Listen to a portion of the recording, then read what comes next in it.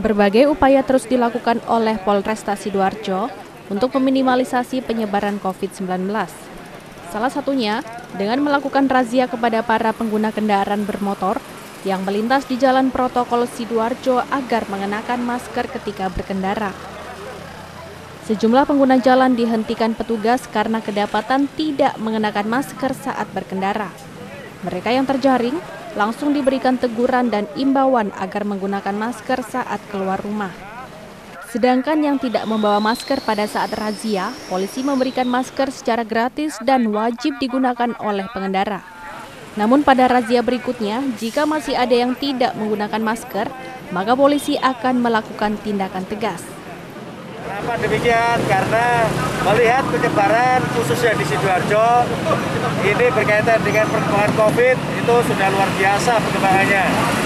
Sangat mengkhawatirkan sehingga masyarakat dari Surabaya masuk ke Sidoarjo bagi pengendara yang tidak menggunakan masker kita berikan himbauan dan kita wajibkan untuk menggunakan masker.